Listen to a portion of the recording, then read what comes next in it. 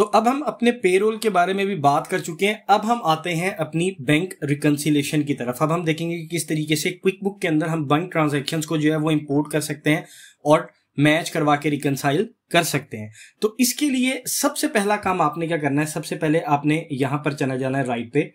यहाँ पर आने के बाद जो है आपने यहाँ इंपोर्ट डेटा के अंदर आ जाना है। अब बेसिकली जो सिनेरियो है वो ये है कि हमारे पास बैंक फ़ीड तो है नहीं बैंक हमारे कनेक्ट है नहीं।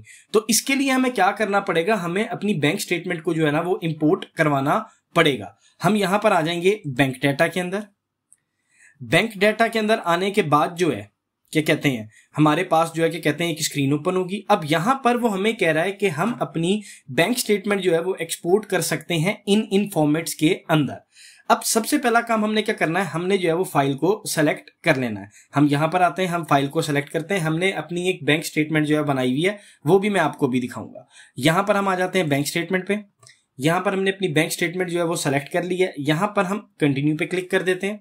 यहाँ पर कंटिन्यू पे क्लिक करने के बाद जो है, हम यहाँ पर आते हैं और यहाँ पर आने के बाद जो है, जिस बैंक के अंदर हमने अपनी जो हमारी बैंक की स्टेटमेंट है, जिस स्टेटमेंट को हमने इंपोर्ट करवाना है, उसके लिए हम अपने बैंक को जो है ना वो सेलेक्ट कर लेंगे।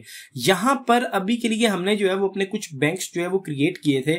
फॉर एग्ज़ाम्पल अभी मैं एक सिनेरियो लेता हूँ कि मैं अपने जो है, क्या कहते हैं, ये सेंटेंडर करंट अकाउंट के अंदर जो है वो इंपोर्ट करवा रहा हूँ ट्रांजेक्शन यानी मैं ये अज्यूम कर रहा हूँ, ये जो मेरी ट्रांजेक्शन है वो मेरे लिए इस बैंक की है। मैंने अपने बैंक को सेलेक्ट कर लिया, जिस बैंक की ट्रांजेक्शन है, यहाँ पर मैं कंटिन्यू पे आ गया। यहाँ पर कंटिन्यू पे आने के बाद जो है वो मेरे से यहाँ पर कुछ सवाल जो है वो पूछ रहा है।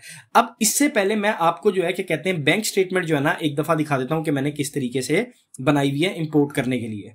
तो ये देखें, ये मेरे पास बैंक स्टेटमेंट है, जिसमें देखें मैंने एक तरह की अपनी एक जो है वो डमी सी बैंक स्टेटमेंट बनाई है, जिसके अंदर मैंने डेट का कॉलम जो है वो ऐड किया है, फिर मैंने डिस्क्रिप्शन लिखी है और फिर मैंने जो है वो अमाउंट लिखी है। जो पैसे मेरे पास रिसीव हो रहे हैं, उनको मैंने पॉजिटिव में लिखा है, जो पैसे मेरे पास से मनी आउट हो रहे हैं, उसको मैंने नेगेटिव के अंदर जो है वो शो करवाया है। इस तरीके से मैंने अपनी जो है वो एक बैंक स्टेटमेंट जो है ना, वो बनाई है। तो चलिए, अब इसको क्लोज करते हैं अपनी क्विक बुक की स्क्रीन पर वापस चलते हैं।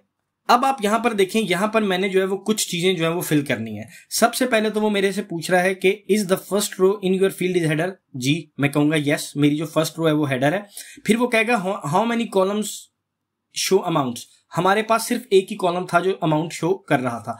फिर वो यहाँ से मेरे पास से डेट का फॉर्मेट पूछेगा। मेरी डेट का फॉर्मेट है ये वाला। Day day slash month month और ईयर ईयर ईयर ये वाला मेरा डेट का फॉर्मेट है। मेक श्योर sure कि आपकी स्टेटमेंट का जो डेट का फॉर्मेट हो, आपने वही जो है वो सेलेक्ट करना है। अब यहाँ पर जो है वो मैपिंग हो रही है। ये देखें डेट के सामने डेट डिस्क्रिप्शन के सामने डिस्क्रिप्शन और अमाउंट के सामने अमाउंट यहाँ पर जो है कि कहते हैं, मैं कंटिन्यू पे क्लिक कर दूँगा।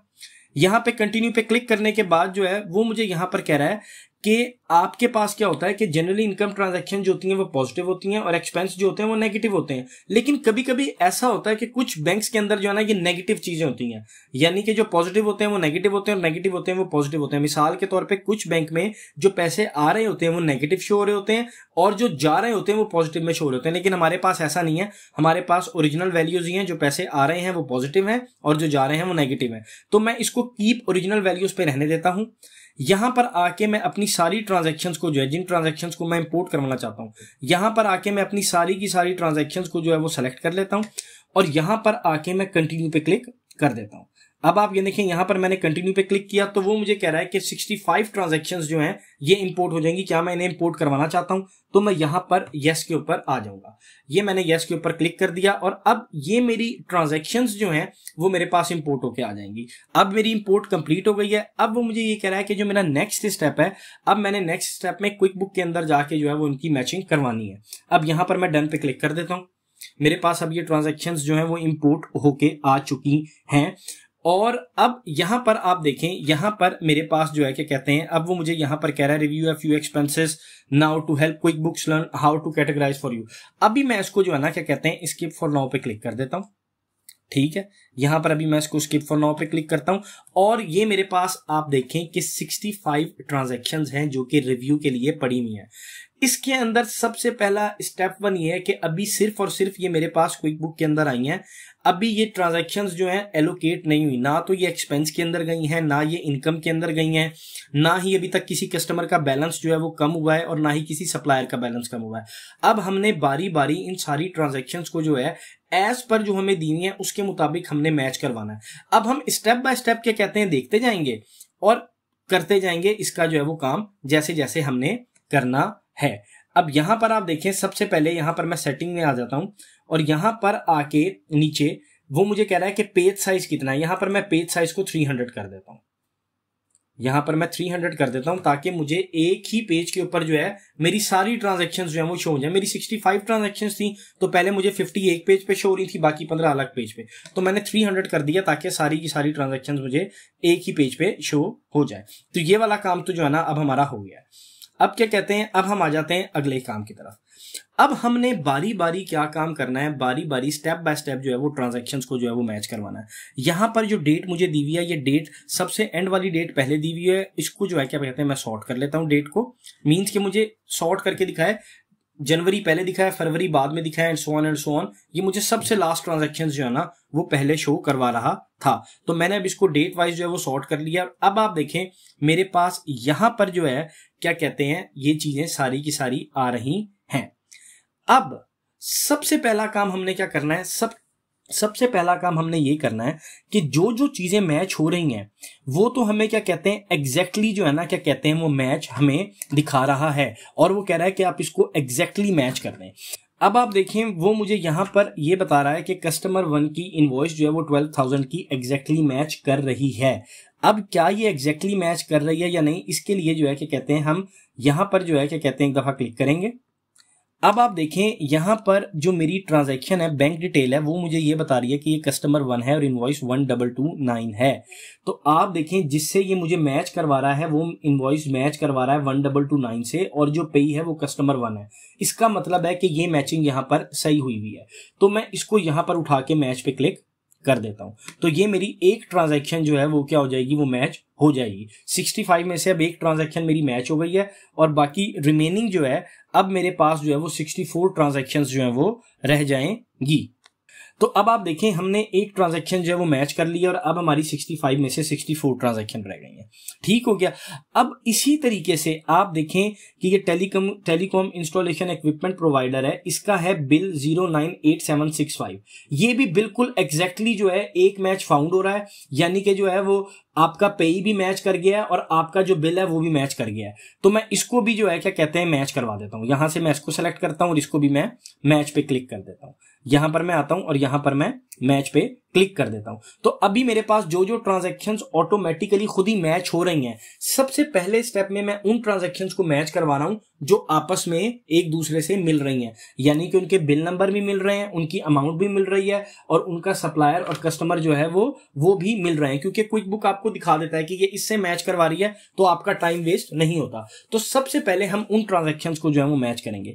इसी तरीके से ये आपका कैपिटल स्टेशनर है, इसका बिल वन है और ये वन से ही मैच करवा रहा है। यहाँ पर हम इसको क्लिक कर देते हैं। हम यहाँ पर इसको मैच करवा देते हैं। ठीक हो गया। अब उसके बाद यहाँ पर मैं सबको एक साथ मैच करवाऊँगा। ये पावर सप्लाई लिमिटेड है, ये इसकी invoice two double zero one है और ये टू डबल ज़ीरो वन से ही मैच कर रही है। एक मैच फाउंड हो रहा है तो मैं यहाँ पर भी इसके ऊपर क्लिक कर दूँगा एग्जैक्टली इसी तरीके से यहाँ पर ये टैक्स सॉल्यूशन है। इसका ये बिल नंबर इनवॉइस जो है वो वन डबल ज़ीरो टू है।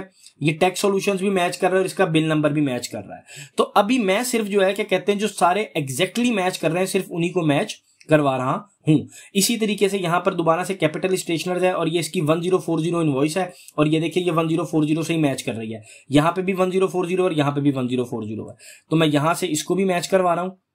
यहाँ से मैंने इसको मैच करवा दिया। उसके बाद यहाँ पर हम नीचे आ जाते हैं। ये आपका प्रीमियम वॉचेज है नाइन एट सेवन सिक्स और आप ये देखेंगे bill number nine eight seven six से ही जो है वो मैच कर रही है और प्रीमियम वॉचेज ही जो है वो इसका सप्लायर है। ठीक? सप्लायर भी मैच कर गया। देखें यहाँ से बैंक डिस्क्रिप्शन है प्रीमियम वॉचेज तो उसने सप्लायर भी उठा लिया premium watches nine eight seven six invoice है तो उसने nine eight seven six invoice भी जो है वो भी उठा लिया। यहाँ से हम इसको जो है वो क्लिक कर देते हैं। इसको भी जो है हम मैच करवा देंगे। फिर हम यहाँ पर नीचे आ जाते हैं, नीचे आ जाते हैं, नीचे आ जाते हैं और अब हमारे पास एग्जैक्ट मैच कोई भी नहीं आ रहा। जो जो हमारे पास एग्जैक्टली मैच हो रहे थे, वो वो एग्जैक्टली मैच जो है वो हो चुके हैं। तो अब हम यहाँ पर क्या कहते हैं, हमारे पास ये पाँच जो है, क्या कहते हैं, आ रहे थे, इसको हम यहाँ पर एक्सेप्ट पे क्लिक कर देते हैं। तो ये हमारे पास एक्सेप्ट पे हमने क्लिक कर दिया और ये हमारी पाँच ट्रांजेक्शन भी जो है, वो मैच हो गई हैं। अब हम देखते हैं कि हमारे पास इन पाँच ट्रांजेक्शन को मैच करवा के जो है, वो रिमेनिंग जो है, वो कितनी ट्रांजेक्शन जो है वो बचती हैं। ये देखें, पाँच ट्रांजेक्शन जो है वो हमारी मैच हो गई हैं और अब हमारे सामने जो है वो स्क्रीन जो है वो एक दफ़ा दोबारा से शो होगी और उसके अंदर जो है वो रिमेनिंग ट्रांजेक्शन यहाँ पे हमारे पास आ रही होंगी। देखें, अब हमारे पास जो है, क्या कहते हैं फिफ्टी एट ट्रांजेक्शन जो है फिफ्टी एट ट्रांजेक्शन जो है वो रह गई हैं। अब हमने क्या काम करना है? अब हमने बारी बारी आना है और बारी बारी आके जो है, क्या कहते हैं मैच करवाते जाना है। स्टेप बाय स्टेप अब हम आएँगे और अब हम मैच करवाएँगे। सबसे पहले तो आप यहाँ पर ये देखें कि मेरे पास जो है, यहाँ पर है प्रीमियम वॉचेस यहाँ पर अब कैटेगराइज और मैच या तो आप इसको कैटेगराइज करवाएँ या मैच करवाएँ। या तो आप इसको एक्सपेंस के अंदर डायरेक्टली डालें या फिर इसको किसी बिल के साथ या इनवॉइस के साथ मैच करवाएँ। मैं यहाँ पर क्लिक करता हूँ। यहाँ पर उसने ऑटोमेटिकली इसको जो है वो इंश्योरेंस के अंदर जो है वो कैटेगराइज किया हुआ है, जो कि गलत है। ये एक्सपेंस नहीं है डायरेक्टली ये एक्सपेंस पोस्ट नहीं होगा, बल्कि ये तो होना है मैच ये मेरे पास यहाँ पर आके जो है, क्या कहते हैं, हो जाएगा मैच तो अब आप ये देखें, उसने मुझे मैचिंग के लिए जो है ये स्क्रीन जो है वो ओपन करके दिखाई है, जिसमें मेरे पास प्रीमियम वॉचेज है। और शुरू शुरू में हमने इनसे जो है वो स्टॉक परचेज किया था तो ओपनिंग बैलेंस के थ्रू जनरल एंट्रीज डाली थी और दो इनके बैलेंसेस जो है वो यहाँ पर ओपन हमारे पास शो हो रहे हैं। 400 एंड 240 का, इन दोनों के साथ हमने इसको मैच करवा देना है। तो यहाँ पर हम मैच पे जो है वो क्लिक कर देते हैं और ये वाली ट्रांजेक्शन जो है, ये हमारी जो है वो मैच हो जाएगी। यहाँ पर हमने मैच पे क्लिक कर दिया। तो अब आप यहाँ पर ये देखें कि मेरे पास ये वाली ट्रांजैक्शन जो है, वो भी यहाँ पर मैच हो गई है। अब अगली चीज़ आप देखें मेरे पास ये हेल्थ इंश्योरेंस लिमिटेड है, ठीक है? और मुझे जो है, क्या कहते हैं, इसके दो पॉसिबल जो है, वो मैचेस जो है, वो दिखा रहा है कि इसके लिए दो मैचेस जो है, वो मिले सबसे पहले यहाँ पर मैं व्यू पे जो है, वो क्लिक करता हूँ। अब आप देखें जहाँ जहाँ मैच हो रही होगी आपकी कोई पेमेंट सप्लायर या कस्टमर के साथ, वहाँ पर आपको मैच लिखा हुआ दिखाएगा और जहाँ पर क्विक बुक कोई भी मैचिंग एज्यूम नहीं कर रहा होगा, वहाँ पर आपको जो है डायरेक्टली एक्सपेंस जो है वो दिखाया हुआ होगा, जिसके अंदर ये चीज़ें जा रही होंगी। तो हमने फिर ये चीज़ देखनी है, क्या ये डायरेक्टली एक्सपेंस के अंदर इसको पोस्ट कर देना है, या हमारे पास इसके अगेंस्ट कोई बिल है, जिसके अगेंस्ट हमने इसको मैच करवाना है। तो इन चीज़ों का हमें ख्याल रखना पड़ेगा। अब जैसे आप ये देखें, ये हेल्थ इंश्योरेंस लिमिटेड है, और यहाँ पर टू मैचेस लिखा हुआ है। तो सबसे पहले हम यहाँ पर व्यू में जाएँगे, और ये देखेंगे कि ये किस किस के साथ जो है वो मैच करवा रहा है। अब आप ये देखेंगे जो बैंक डिटेल है ना बैंक डिटेल मुझे ये कह रही है हेल्थ इंश्योरेंस लिमिटेड है और invoice four double zero one है। अब यहाँ पर जाहरी बात है कि ये जो बैंक इंश्योरेंस लिमिटेड है और invoice four double zero one है, ठीक है? तो ये यहाँ पर आप देखें, ये किसके साथ इसको मैच करवा रहा है? ये इसको मैच करवा रहा है ओपन बैलेंस जो पावर सप्लाई लिमिटेड का है, उसके साथ मैच करवा रहा है। ठीक हो गया? जबकि ये इसके साथ तो मैच नहीं होगी, ये तो मैच होनी है आपकी हेल्थ इंश्योरेंस के साथ। ये देखें बैंक डिटेल मेरे पास है health insurance limited invoice four double zero one तो मैचिंग इसके साथ बनती है। ऊपर वाले के साथ मैचिंग नहीं बनती मैचिंग इसके साथ बनती है। क्विक बुक ने इसको गलत मैच किया हुआ था। तो मैंने यहाँ पर देखें, इसको सही सेलेक्ट किया यहाँ पर आप देख रहे हैं, ये मेरी ये बैंक डिटेल्स और इसमें से ये देखें, मुझे ये हेल्थ इंश्योरेंस लिमिटेड नज़र आ रहा है और ये मुझे उसका बिल नंबर भी नज़र आ रहा है डायरेक्टली जो कि मैच कर रहा है। तो मैंने इसको आपस में मैच करवा दिया और यहाँ पर मैंने मैच पे क्लिक कर दिया। तो मेरी ये वाली ट्रांजैक्शन जो है, ये ट्रांजैक्शन भी मेरे पास मैच हो गई है। इस तरीके से आपने ये ख्याल करना है कि जब भी आपने मैचिंग करवानी है तो मैचिंग करवाते हुए आपने ये देख लेना है कि आपका जो सप्लायर हो, वो सप्लायर भी आ मैच हो या कस्टमर दोनों में से। दो, अगर पेमेंट कर रहे हो तो सप्लायर मैच होना चाहिए, अगर पेमेंट रिसीव कर रहे हैं तो कस्टमर मैच होना चाहिए। प्लस उनके बिल और इनवॉइस नंबर भी मैच करने चाहिए, अगर दिए हुए हैं तो। ठीक हो गया। ये जो है, क्या कहते हैं शेल से हमने पेट्रोल भरवाया है, ये बैंक चार्जेस हैं, इनको अभी हम छोड़ रहे हैं। ये इनको अभी हम एंड में देखेंगे। सबसे पहले जो है, हम मैचिंग करवाएँगे। अब जो है ना, आप ये देखें, ये वोडाफोन है। वोडाफोन की जो है वो जनवरी की पेमेंट की है। अब वो यहाँ पर क्या काम कर रहा है? यहाँ पर वो ये काम कर रहा है कि ये जो पेमेंट है, इसको डायरेक्टली टेलीफोन और इंटरनेट के अंदर डाल रहा है। जबकि हमें पता है कि वोडाफोन जो है, हमारे पास एक सप्लायर है और उसके हमारे पास बिल पड़े हुए हैं। तो हमें क्या करना पड़ेगा कि उनके बिलों के साथ इसको मैच करवाना पड़ेगा। तो मैं सिंपल यहाँ पर जो है, क्या कहते हैं क्लिक कर देता हूँ। यहाँ पर अब मैं क्लिक करूँगा और अब वो मेरे से पूछेगा कि क्या मैंने इसको कैटेगराइज करना है डायरेक्ट एक्सपेंस के अंदर डालना है इनकम के अंदर डालना है, या मैंने इसको मैच करवाना है। मैं कहूँगा जी, मैंने इसको मैच करवाना है। तो यहाँ पर मैं मैच पे क्लिक कर दूँगा। मैंने मैच पे क्लिक कर दिया। अब जैसे ही मैं मैच के ऊपर क्लिक करूँगा, जाहिरी बात है, वो मुझे जो है, क्या कहते हैं, एक एंट्री जो है, यहाँ पर खोल के दिखा देगा। अब सबसे पहले आप देखें कि जो काम है ना, सबसे जो पहला काम है, सबसे पहला काम ये है कि मुझे यहाँ पर ये चीज़ बताई गई है कि ये पेमेंट है वोडाफोन की। और ये पेमेंट वोडाफोन की कौन सी है? जनवरी की जो पेमेंट है वोडाफोन की जनवरी की पेमेंट आई है। तो सबसे पहला काम मैं क्या करूँगा? यहाँ पर जो है, मैं सबसे पहले यहाँ पर आके वोडाफोन जो है वो लिख लेता हूँ। ताकि मुझे दिखाए ही सिर्फ़ वोडाफोन ये मैंने यहाँ पर वोडाफोन लिख लिया। अब वोडाफोन में आप देखें मेरे पास ये वोडाफोन के सारे जो भी बिल्स हैं, वो मेरे पास यहाँ पर आ गए हैं। अब मैंने क्या काम करना है? अब मैंने जनवरी के जो है ना, वो बिल्स मैच करवाने हैं। सबसे पहले आप ये देखें वोडाफोन का जनवरी का एक बिल है ये, इकतीस जनवरी का। ठीक है, एक बिल इकतीस जनवरी का है ये, एक बिल इकतीस जनवरी का है ये, और एक बिल इकतीस जनवरी का है ये। ठीक है ये चार बिल्स जो हैं, क्या कहते हैं, देखिए, मैंने मैच करवाए हैं। इकतीस जनवरी इकतीस जनवरी इकतीस जनवरी इकतीस जनवरी। और यहाँ से जो है, इसको मैं मैच करवा दूँगा। अब यहाँ पर एक बात समझना बहुत ज़रूरी थी कि आप देखें बैंक के अंदर लिखा हुआ है कि वोडाफोन से आपको पेमेंट जो है, आपने की है। और ये पेमेंट आपने की है जनवरी की। तो जाहिरी बात है, अब मैंने सबसे पहले मैच के अंदर आके वोडाफोन को सिलेक्ट किया और वहाँ से जो जनवरी की ओपन इनवॉइस है, उनको मैंने टिक कर लिया और उसका टोटल एग्जैक्टली ये फोर सिक्स फाइव ज़ीरो बन रहा है। तो यहाँ से मैं मैच पे क्लिक कर दूँगा। तो ये मेरी एक ट्रांजेक्शन जो है वो मैच हो गई। यानी कि आपने देखा कि पेमेंट हो रही है और पेमेंट हो रही है मल्टीपल बिल्स के अगेंस्ट और वो बिल्स जो है, उसने वो मंथ मेंशन किया हुआ है बैंक के अंदर तो आपने उसके अकॉर्डिंगली ही जो है, वो उसको मैच करवाया। ठीक हो गया? अब यहाँ पर हम आ जाते हैं। अब अपनी अगली ट्रांजेक्शन को जो है, वो हम मैच करवाएँगे। ठीक हो गया?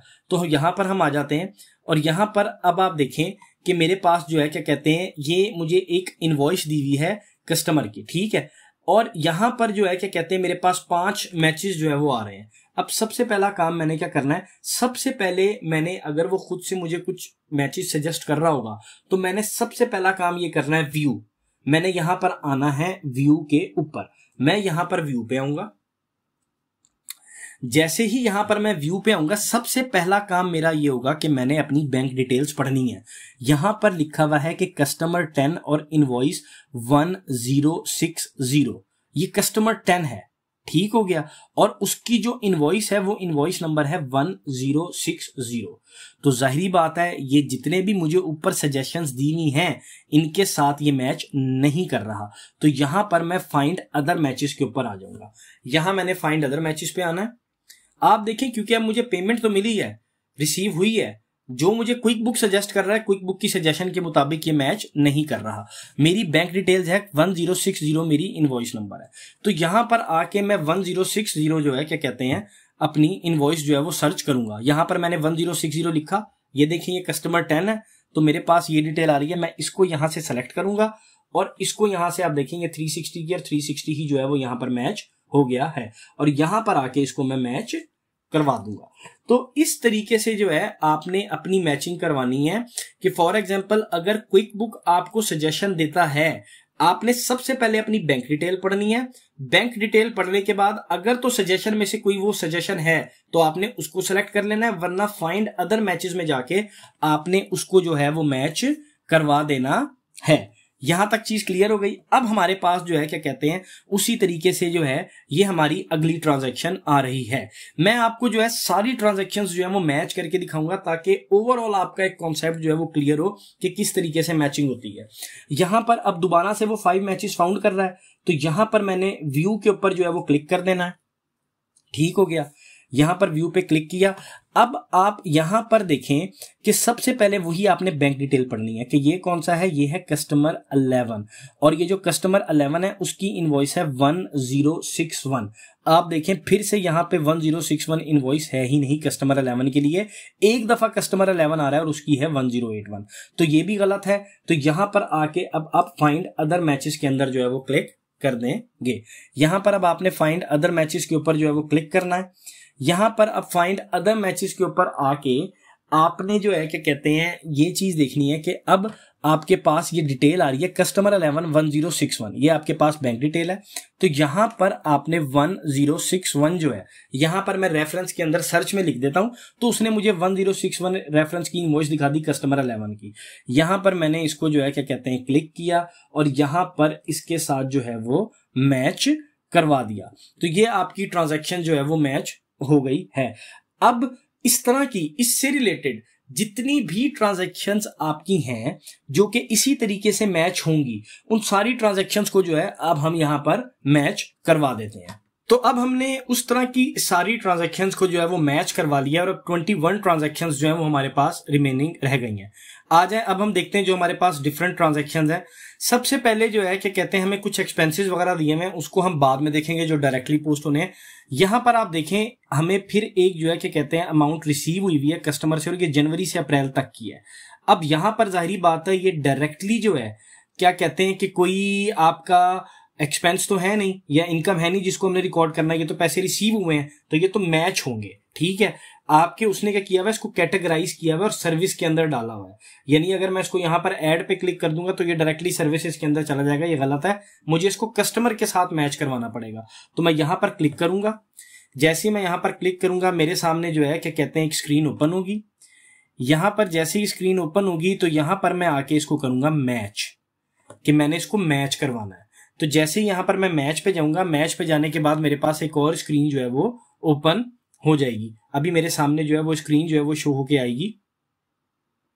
आप देखें, ये स्क्रीन मेरे पास यहाँ पर आ गई है। सबसे पहले मैंने अपनी जो बैंक की डिटेल है वो पढ़नी है, जो कि मेरे पास यहाँ पर लिखी हुई है कि कस्टमर 16 से पेमेंट रिसीव हुई है जनवरी से लेके अप्रैल तक की। तो जो मेरा सबसे पहला काम है, मैं सबसे पहले यहाँ पर आके कस्टमर 16 जो है वो यहाँ पर लिख दूँगा। अपना पास सबसे पहले कस्टमर 16 जो है वो यहाँ पर टाइप कर दूँगा। तो मेरे पास सिर्फ़ और सिर्फ़ कस्टमर 16 की जो डिटेल्स हैं, वो मेरे पास जो है वो शो के आ जाएँगी। यहाँ पर मेरे पास कस्टमर 16 आ गया और अब ये जनवरी से लेकर अप्रैल तक की पेमेंट है। यानी एक पेमेंट जनवरी की है, एक पेमेंट फेब की है, एक पेमेंट यहाँ पर मार्च की है और एक पेमेंट अप्रैल की है। तो ये जनवरी से लेकर अप्रैल की मेरे पास जो है वो पेमेंट आ गई। मैंने चारों के साथ मैच करवा दी। यहाँ पे फोर्टी की पेमेंट है और फोर्टी जो है वो मैच हो गए और यहाँ पर मैच पे जो है मैं क्लिक कर देता हूँ। तो इस तरीके से आप देख रहे होंगे कि हम किस तरीके से जो है वो ट्रांजेक्शन को मैच करवा रहे हैं, अपनी बैंक ट्रांजेक्शन की डिटेल पढ़ के और उसके अकॉर्डिंगली जो है वो हम मैचिंग जो है वो करवा रहे हैं। अब यहाँ पर जो है हम आ जाते हैं। यहाँ पर आके अब एक और हमारे पास, ये कस्टमर से हमारे पास पेमेंट रिसीव हुई है। हम इसको चेक करते हैं। उसी तरीके से हम यहाँ पर आते हैं। यहाँ पर क्लिक करते हैं। और अब हमारे सामने एक स्क्रीन शो हुई है और यहाँ पर हम मैच पे क्लिक कर देते हैं। यानी हमने इसको मैच करवाना है। तो उसी तरीके से हमारे पास एक स्क्रीन जो है वो ओपन होगी। सबसे पहले हम बैंक की डिटेल पढ़ेंगे और उसके बाद जो है वो इसको जो है वो मैच करवाएँगे। अब हम यहाँ पर आ जाते हैं। यहाँ पर हमारे पास कस्टमर वन से जो है वो रिसीव्ड हुई है पेमेंट सितंबर इनवॉइसेस तक की। तो सबसे पहले तो ये कस्टमर वन है। तो जो पहली स्टोरी है, वो तो हमने यहाँ पर कस्टमर वन जो है, वो लिख लेना है। हमारे पास यानी कि कस्टमर वन की जो है, वो इन्वॉइसेज है। तो ये हम कस्टमर वन लिखेंगे तो कस्टमर वन की जो भी डिटेल्स होंगी, वो हमारे पास सामने यहाँ पर शो हो जाएँगी। तो अब आप यहाँ पर देखिए, मैंने कस्टमर वन लिखा है तो ये कस्टमर सेवनटीन थर्टीन भी मुझे दिखा रहा है, लेकिन हमने सिर्फ़ कस्टमर वन से मैच करवाना है। ये हमारे पास सितंबर तक की इसने पेमेंट किया तिल ये इसकी मेरे पास आ गई जनवरी की पेमेंट कस्टमर वन की। अब मुझे दोबारा से यहाँ से कस्टमर वन जो है, वो मुझे यहाँ से ढूंढना है। ये मेरे पास कस्टमर वन आ गया दोबारा से। उसके बाद फिर यहाँ से मैंने अपने कस्टमर वन को ढूंढना है, ये मेरे पास कस्टमर वन आ गया। आप यहाँ पर देखें, ये मेरे पास दोबारा से जो है वो कस्टमर वन आ गया। फिर यहाँ पर जो है कस्टमर वन के अगस्त की जो है वो पेमेंट है और फिर यहाँ पर आके मेरे पास कस्टमर सितंबर की ये पेमेंट है। और मैं देख लेता हूँ कस्टमर वन की कोई और सितंबर की पेमेंट है। ये मेरे पास, ये यहाँ पर आ रही है। इसको सेलेक्ट कर लेते हैं और ये वाली एक पेमेंट आ रही है सितंबर की, इसको सेलेक्ट कर लेते हैं। अच्छा अब ये इसकी जो है, ये वाली डेट्स हैं और यहाँ पर जो है ना, जाके देख लेते हैं कि मैचिंग हो रही है या नहीं। ये आप देखें, यहाँ पर मेरे पास जो है वो मैच हो गई हैं ट्रांजेक्शन मीन्स कि जो सितंबर तक की इन्वॉइसेस थी, वो सारी की सारी मेरे पास यहाँ पर मैच हो गई। मैंने उसको मैच करवा दिया। यहाँ पर मैं मैच पे क्लिक कर देता हूँ। तो आप देख रहे हैं कि इस तरीके से जो है वो हमने अपनी मैचिंग जो है वो करवानी है। अब यहाँ पर इसको मैच करवाने के बाद जो है, हमारे पास जो टोटल ट्रांजेक्शन बच जाती हैं, वो 19 बच जाती हैं। अभी यहाँ पर अपडेट होके शायद आई है, देखें। ये 19 ट्रांजेक्शन आ गई अब हमने अपने कस्टमर सारे मैच करवा दिए। ठीक हो गया। अब हमारे पास जो है, क्या कहते हैं इसी तरीके से ये कुछ वोडाफोन की पेमेंट्स हैं जो हमने की हुई हैं और वो हमारे पास आ रही हैं। जैसे ये फेब पेमेंट है, ये मार्च पेमेंट है, ये अप्रैल पेमेंट है। ये जाहिरी बात है फेब की फेब के साथ मैच होंगी मार्च की मार्च के साथ अप्रैल की अप्रैल के साथ, उसने यहाँ डायरेक्ट इसको टेलीफोन एंड इंटरनेट में डाला हुआ है, जबकि ये सप्लायर की पेमेंट है डायरेक्ट एक्सपेंस में नहीं जाएगी। तो हम उसी तरीके से यहाँ पे क्लिक करेंगे। यहाँ पे क्लिक करने के बाद हम यहाँ पर मैच पे आएँगे और मैच पे आने के बाद जो है हमारे पास एक स्क्रीन ओपन होगी और वहाँ पर हम उसी तरीके से जाके अपने पास जो सर्च बार होगी, यहाँ पर यहाँ पर हम वोडाफोन लिखेंगे, देखें ये वोडाफोन की फैप की पेमेंट है तो यहाँ पर आके हम लिख देंगे वोडाफोन ठीक है, मैंने वोडाफोन लिख दिया। अब मेरे पास वोडाफोन के जो है वो सारे बिल्स ओपन हो गए और ये मेरे पास जो वोडाफोन के बिल्स हैं, ये मेरे पास बिल्स हैं फेब के मंथ के। तो आप देखें, एक तो डेट है फेब की ये ट्वेंटी नाइन्थ फेब एक डेट है फेब की ये, एक डेट है फेब की ये, नीचे आ जाता हूँ, और एक डेट है फेब की ये। ये मेरे पास फेब की डेट आ रही है, और यहाँ पर मेरे पास फेब की डेट्स जो है वो खत्म हो गई हैं। तो ये मैंने फेब की डेट्स को जो है वो सेलेक्ट कर लिया है, और यहाँ पर आके मैं मैच पे क्लिक कर देता हूँ। तो ये मेरे पास जो है, क्या कहते हैं मैच हो गई फेब की पेमेंट्स मैच हो गई हैं। अब इसी तरीके से हम मार्च और अप्रैल की जो है, उन पेमेंट्स को भी जो है वो मैच करवा लेते हैं। अब यहाँ पर आप देखें, यहाँ पर अभी हमारे पास ट्रांजेक्शन अपडेट हो गई हैं एटीन और अब यहाँ पर आके हम अपने पास ये मार्च की पेमेंट्स है। मार्च की पेमेंट्स को मैच करवा लेते हैं और अप्रैल की पेमेंट्स को मैच करवा लेते हैं। यहाँ पर हमने आना है, यहाँ पर हमने मैच पे क्लिक करना है। मैच पे क्लिक करेंगे तो हमारे सामने उसी तरीके से स्क्रीन ओपन होगी और हम दोबारा से वोडाफोन सेलेक्ट करेंगे और फिर मार्च के साथ मैच करवाएँगे। तो यहाँ पर आके हम लिख देते हैं वोडाफोन ये हमारे पास वोडाफोन आ गया और अब हमने मार्च की मैच करवानी है। एक मार्च की हमारे पास ये आ गई, एक मार्च की हमारे पास ये आ गई, एक मार्च की हमारे पास ये आ गई, एक मार्च की हमारे पास ये आ गई। और हमारे पास कोई है मार्च की, और नहीं है, ये हमने इसको मैच करवा दिया। यहाँ से हमने इसको आके मैच जो है वो करवा दिया। है। तो ये हमारे पास जो है वो मार्च की पेमेंट्स जो है, वो भी हमारे पास मैच हो गई हैं और अभी ये अपडेट होकर हमारे पास 17 ट्रांजेक्शन जो है वो आ जाएँगी। यहाँ पर 17 आ गई और अब हम यहाँ पर आ जाते हैं और अब अपनी आखिरी पेमेंट जो हमने अप्रैल की की हुई है, उसको भी हम मैच करवा देते हैं। इसी तरीके से हम यहाँ पर आ जाते हैं। यहाँ पर आके मैच पे जो है वो क्लिक कर देते हैं। यहाँ पर मैच पे क्लिक करने के बाद हमारे सामने जो है अभी इस तरह एक स्क्रीन ओपन हो जाएगी। और एज इट इज़ वैसे ही ये हमारे पास अप्रैल की पेमेंट्स हैं तो यहाँ पर आके हम लिखेंगे वोडा फ़ोन ये हमने वोडाफोन लिखा, ये हमारे पास आ गई। अब इसको जो है, क्या कहते हैं, यहाँ पर कुछ डेट्स अलग दी हुई है। अगर यहाँ पर मैं डेट्स को सॉर्ट कर लेता हूँ तो मेरे पास जो है, अब डेट्स सॉर्ट होके आ गई और अप्रैल की डेट्स जो पेंडिंग है, मेरे पास शुरू शुरू में ही शो हो गई हैं। मैंने इन चारों को जो है, वो सेलेक्ट कर दिया। एक तरीका आप इसको सॉर्ट करके भी कर सकते हैं। हमने ढूंढ के भी किया था, अब आपको सॉर्ट करके भी दिखा दिया। और यहाँ पर आके आप मैच पे क्लिक कर तो ये अब हमने वोडाफोन की पेमेंट्स जो हैं ये वोडाफोन की पेमेंट्स को भी मैच करवा दिया है। अब हमने कस्टमर की जो पेमेंट्स रिसीव की हैं, वो भी हमने मैच करवा दी हैं डिफरेंट डिफरेंट तरीके से। इसी तरीके से जो सप्लायर को पेमेंट्स की हैं, वो भी मैच करवा दी हैं डिफरेंट डिफरेंट एंगल से कि किस किस तरीके से वो मैच होती हैं। अब यहाँ पर जो है कि कहते हैं हम, अब हमने कस्टमर और सप्लायर्स को ट्रैक कर लिया। अब यहाँ पर हम एक ट्रांजेक्शन देख लेते हैं ट्रांसफ़र की। तीस सितंबर को जो है ना, ये पैसे ट्रांसफ़र किए हैं लॉयड बैंक को, ठीक है? तो यहाँ पर सबसे पहले हम इधर आएँगे। ये। अब आप आप ये देखिए, यहाँ पर हम क्लिक कर लेते हैं और इसको हम बताएँगे कि ये क्या चीज़ है। ये है हमारे पास रिकॉर्ड एस ट्रांसफ़र ये हमने एक दूसरे बैंक को पैसे ट्रांसफ़र किए हैं। ये हमने किसको ट्रांसफ़र किए हैं पैसे?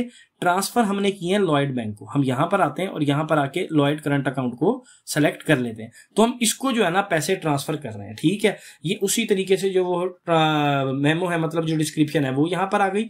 और यहाँ पर आके हम एड पे जो है वो क्लिक कर देते हैं। तो यहाँ पर हमने आके एड पे जो है, वो क्लिक कर दिया और ये जो फंड्स हैं, ये हमारे पास से जो है, वो ट्रांसफ़र हो गए एक बैंक से दूसरे बैंक के अंदर लॉयड बैंक के अंदर। ठीक हो गया? इसको भी अभी हम अभी हम जाके जो है, वो लॉयड बैंक में भी जाके जो है, वो देखेंगे। पहले हम इस बैंक को जो है, वो मैच करवा लें। यहाँ पर हम आ जाते हैं। और यहाँ पर आके अब आप देखें कि मेरे पास अब ये सारे के सारे जो है वो एक्सपेंसेस रह गए हैं। अब सबसे पहले मैं क्या काम करता हूँ, मेरे पास ये देखें, ये शेल के एक्सपेंसेस हैं। ये जो शेल है ना, ये शेल से मैंने पेट्रोल पंप डलवाया ठीक है?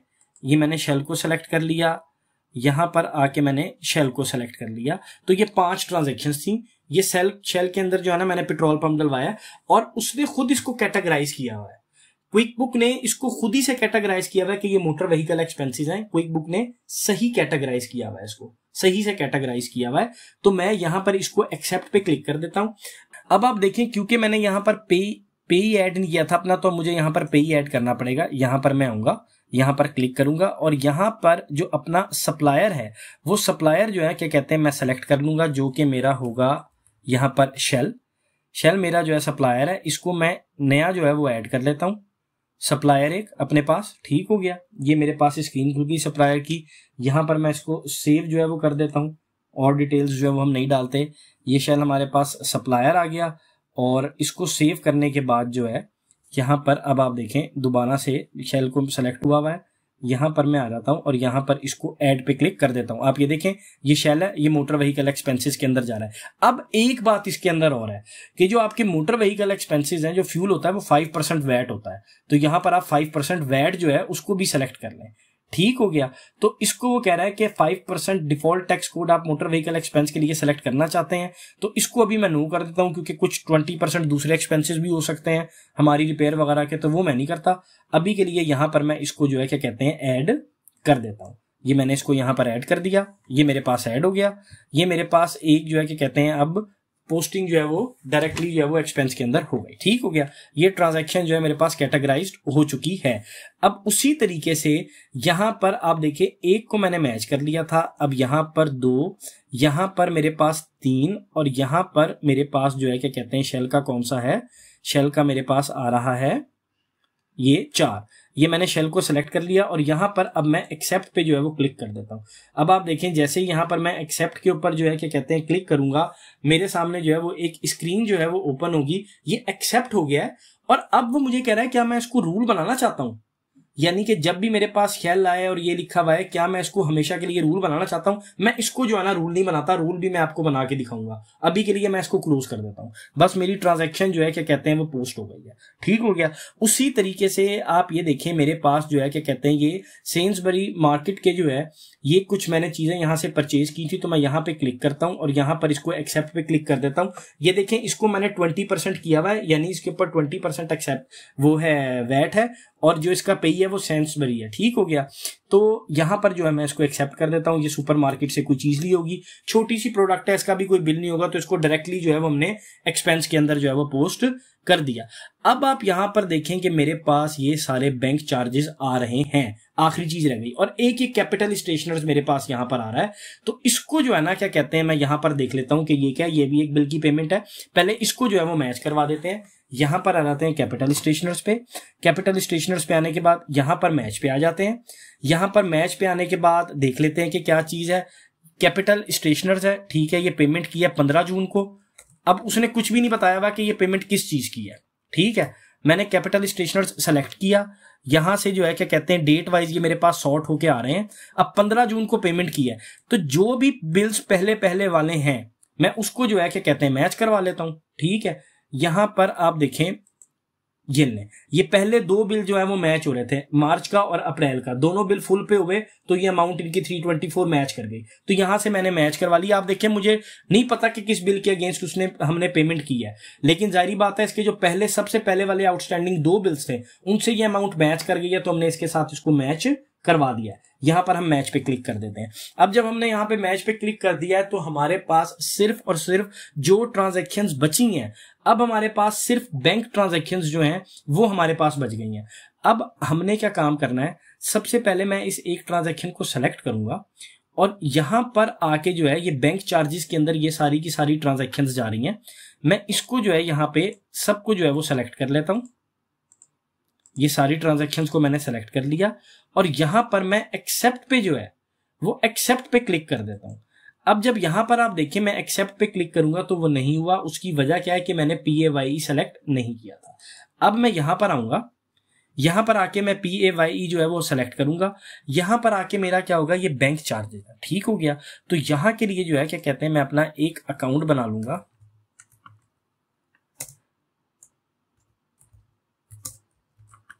ये सेंटेंडर बैंक चार्जेस का। ठीक है, एक सप्लायर मतलब के बना लूँगा। जिसके अंदर ये चार्जेस जो है मैं रिकॉर्ड करूँगा। सारे के सारे, यहाँ पर मैं इसको सेव कर लेता हूँ। और ये बैंक चार्जेस के अंदर ही जा रहा है और इसके अंदर जो है वो वैट क्या है? वैट जो है वो हम कर लेते हैं कि नो वैट इसके अंदर कोई भी वैट नहीं है। ठीक हो गया। यहाँ पर अब वो कह रहा है set no VAT as the default tax code for bank charges यहाँ पर मैं कह देता हूँ यस कि इसके लिए आप इसको कंसीडर कर लें। यहाँ पर मैं आके एड पे जो है वो क्लिक कर देता हूँ। और मेरे पास जो है, क्या कहते हैं, ये ट्रांजेक्शन जो है वो कैटेगराइज हो गई है पोस्ट हो चुकी है। अब उसी तरीके से मैं यहाँ पर आके बैंक पे आता हूँ बैंक पे आता हूँ बैंक पे आता हूँ बैंक पे आता हूँ बैंक पे आता हूँ, यहाँ मैं आता हूँ बैंक पे। तो अभी भी मेरे पास आप देखें, यहाँ पर पे जो है वो अपडेट नहीं हुए।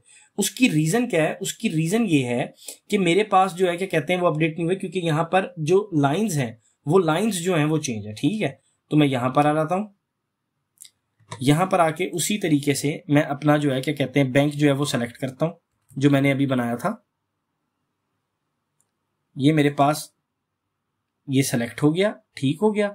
यहाँ पर मैं आ जाता हूँ और यहाँ पर आके जो है ये नो वैट देखें, खुद ही उसने जो है वो नो वैट सेलेक्ट कर लिया। और यहाँ पर आके अब मैं क्रिएट रूल के ऊपर जो है वो क्लिक कर देता हूँ। अब यहाँ पर क्रिएट रूल पे आने के बाद मैं इसको क्या कहता हूँ, जो मैं इसको कह देता हूँ यहाँ पर बैंक चार्जेस रूल यानी कि मैं रूल का नाम लिख देता हूँ बैंक चार्जेस रूल यहाँ पर मैं इसको बैंक चार्जेस रूल लिख देता हूँ। जब भी पैसे निकलेंगे, पैसे हमारे पास कहाँ से निकलेंगे? सेंटेंडर्ड अकाउंट से निकलेंगे, ठीक है? अब इसकी जो डिस्क्रिप्शन है डिस्क्रिप्शन में जो है डिस्क्रिप्शन क्या कंटेन करेगी? अगर डिस्क्रिप्शन में सिर्फ़ बैंक चार्जेस लिखा हुआ है तो ये उसको उठा ले। ठीक हो गया। डिस्क्रिप्शन में अगर सिर्फ़ बैंक चार्जेस लिखा हुआ है तो ये उठा ले और ये किसको असाइन करे? ये एक्सपेंस को असाइन करे। बैंक चार्जेस में असाइन करे, इसका पेई सेंटेंडर्ड हो वैट इसका नो वैट हो और जो है, क्या कहते हैं, ये इसकी जो मेमो हो, ठीक है? मेमो में इसकी क्या आ जाए? मेमो में इसकी आ जाए जी सिर्फ़ बैंक चार्जेस के, ये बैंक चार्जेस हैं। ठीक है? Also keep existing bank memo यहाँ पे क्लिक कर देता हूँ कि जो भी एग्जिस्टिंग बैंक मेमो है, वही जो है, वो इसका रहे और यहाँ पर मैं सेव पे क्लिक कर देता हूँ। तो ये मैंने जो है, क्या कहते हैं, एक रूल जो है, वो एक रूल क्रिएट कर लिया है कि जब भी, क्या कहते हैं, आपके पास बैंक चार्जेस लिखा हुआ है तो वो सारी ट्रांजेक्शन जो है, वो पोस्ट हो जाएँ। अब आप देखिए, मैंने एक रूल लगा के अप्लाई किया तो जितनी सातों की सातों मेरी ट्रांजेक्शन थी, वो एक साथ जो है, वो कैटेगराइज हो गई हैं। अब यहाँ पर जो है, क्या कहते हैं, ये अब हमने सारी की सारी ट्रांजेक्शन जो है वो मैच कर ली है, ठीक है? यानी सारी की सारी ट्रांजेक्शन जो है हमारे पास ज़ीरो के अंदर क्विक बुक के सॉरी क्विक बुक के अंदर जो है वो चली गई है। तो अब क्विक बुक का जो है वो बैलेंस ये है, अब हमने काम क्या करना है? अब हमने अपने बैंक को जो है वो रिकनसाइल करवाना है। बैंक को रिकनसाइल करवाना है। बैंक को रिकनसाइल करवाने के लिए सबसे पहला काम जो है वो क्या है? जो आपने बैंक स्टेटमेंट है बैंक स्टेटमेंट का ओपनिंग और क्लोजिंग बैलेंस जो है, वो एक दफ़ा चेक कर लेना है। तो सबसे पहले जो है, जाके अब हम अपनी रिकनसाइल पे आते हैं। यहाँ पे पहले हम रिकनसाइल पे क्लिक करते हैं। रेकनसाइल पे क्लिक करने के बाद जो है, ये मेरे पास स्क्रीन जो है वो ओपन हो गई। ठीक हो गया। मैंने इसकी रिकनसिलेशन करनी है सेंटेंडर्ड की। यहाँ पर मैं रिज्यूम रिकनसाइलिंग के ऊपर जो है वो आ जाता हूँ। यहाँ पर मैं रिज्यूम रिकनसाइलिंग के ऊपर आ गया। अब यहाँ पर जो है, मेरे सामने जो है, क्या कहते हैं, एक स्क्रीन जो है, वो यहाँ पर ओपन होके जो है वो आ गई है। ठीक हो गया। यहाँ पर सबसे पहले मैंने एडिट इन्फो पे जो है वो क्लिक कर देना है। ठीक है। एडिट इन्फो पे क्लिक करने के बाद सबसे पहले मैंने बताना है कि मेरा बिगनिंग बैलेंस क्या था और मेरा एंडिंग बैलेंस स्टेटमेंट का क्या है डेट के ऊपर। तो सबसे जो पहला काम है, मैंने अपनी बैंक स्टेटमेंट को ओपन करना है जो मैंने बनाई थी। ठीक हो गया? अब आप ये देखें, मैंने अपनी बैंक स्टेटमेंट जो है वो यहाँ पर ओपन कर ली है और ये मुझे अमाउंट दी हुई है। अब आप देखें, जब मैं इस सब का टोटल करता हूँ ये सब का टोटल प्लस माइनस का टोटल करता हूँ तो मेरा बैलेंस बचता है ending balance five eight five nine point nine seven ये मेरा एंडिंग बैलेंस बचता है, मैं यहाँ पर आता हूँ।